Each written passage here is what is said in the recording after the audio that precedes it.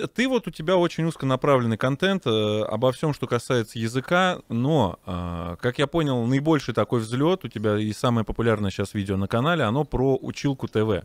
Да, но это на самом деле скорее смешно, вот. Но, в принципе, это понятно, потому что людям больше нравится, как правило, ну, какие-то вещи такие э, эмоциональные. В принципе, видео про училку — это то видео, которое может более-менее понять любой, у которого почти у любого есть какие-то флешбеки, там, связанные с русским языком в школе или что-то такое. И плюс, ну, это как бы обсер другого блогера, как бы, ну, такой mm-hmm. батл но это тоже многим интересно смотреть. Ну, знаешь, я заметил, что мне намного интереснее смотреть, в принципе, контент, который основывается на критике чего угодно. То есть я вот из каких-то критических роликов разных, ну, не только касающихся какой-то узкой темы, а в целом, я вот как раз и очень сильно формировал свое мировоззрение, потому что, как говорится, в споре рождается истина, но э, училка тебе, ну как, она ответила, но, собственно говоря, сейчас она по-прежнему в дизлайках находится, вот. А, ну да, но, по-моему, я не помню, мне кажется, у нее начал канал расти снова. Я помню, что как я выпустил видео, у нее стабильно, ну, от нее сразу отписалось где-то тысяча человек, э, вот, и, э, ну, как-то рост не шел долгое время, а потом, потом снова пошел. Ну, это, в принципе, люди забывают все, что происходит, поэтому новые люди, которые к ней сейчас приходят, они, может, даже не в курсе, что там был какой-то разгром, разбор, вот. Ну, я, честно говоря, не знаю, сейчас, подожди, я гляну последний раз, когда я заходил. Ну, слушай, с одной стороны, да, рост обратно пошел, но с другой стороны, и просмотры уже не те. Если я вот сейчас вот захожу под ее видеоролик, дизлайков э, все равно очень много, то есть у нее обычно столько не было.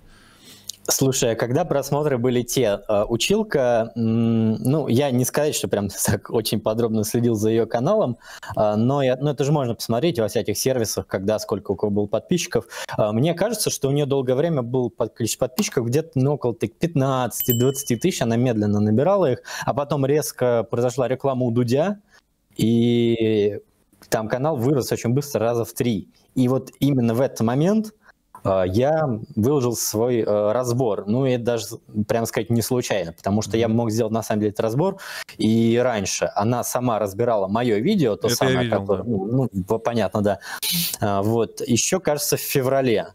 Про само существование училки а, я узнал еще вообще года полтора назад. Я помню, я ехал в Калугу, в марте прошлого года, что ли, в апреле, э, в электричке я смотрел эм, разговор училки с Семиным.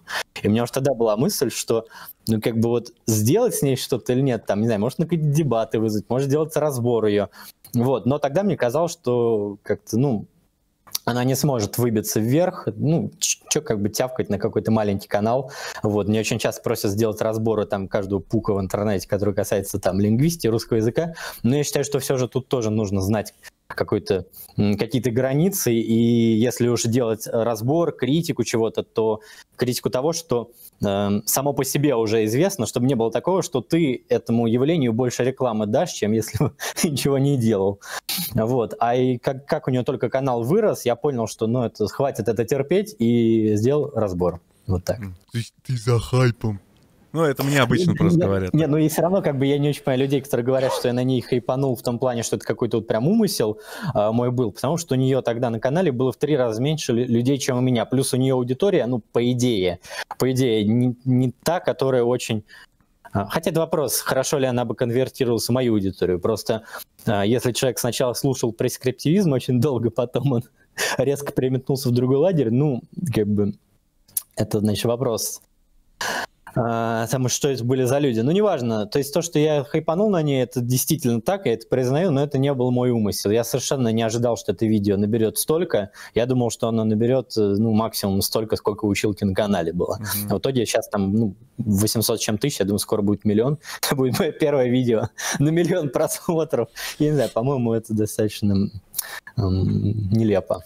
Ну, и, это, к сожалению, суровая реальность не то чтобы даже видеоблогинга, а всего. Но, понимаешь, в чем дело? А, я считаю, что это тот редкий случай, когда тебе удалось уничтожить, реально так вот в медийном плане уничтожить человека. Но все-таки я считаю, что она сама нехило этому поспособствовала, потому что надо было отвечать, и я уверен, что... Ну, просто я смотрел твой стрим, я уже забыл с кем, да, Но ты там говорил, что есть реально представители прескриптивизма, которые могут очень, ну, сильно доводы парировать. Ну, как я понял, то есть у него тоже это такое направление, у ну. которого есть сильные представители.